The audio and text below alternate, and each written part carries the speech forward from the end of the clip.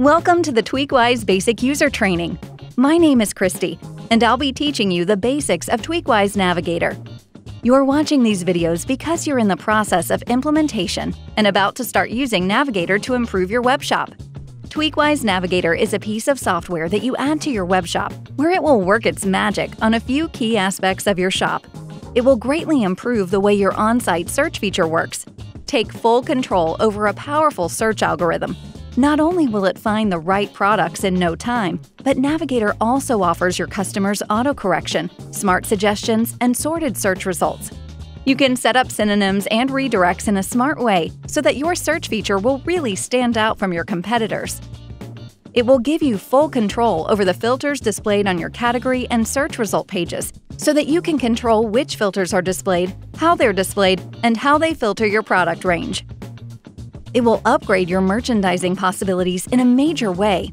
Not only will you be able to construct effective sorting options using all sorts of data, but you'll also be able to manually push products or components, like bestsellers, newcomers, or certain brands to the top of your lister pages.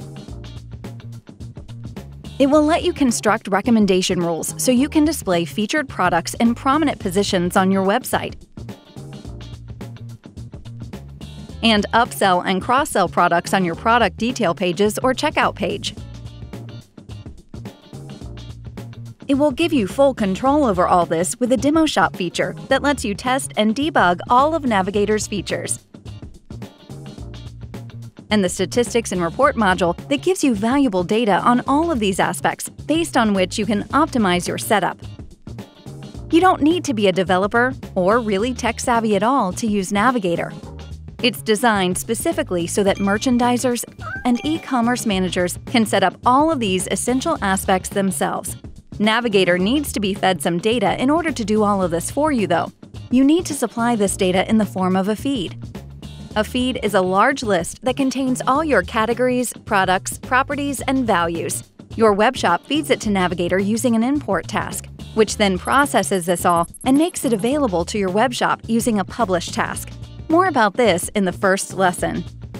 Every video will zoom into one of these aspects of TweakWise Navigator so that you can get started. Remember, all the videos have English and Dutch subtitles.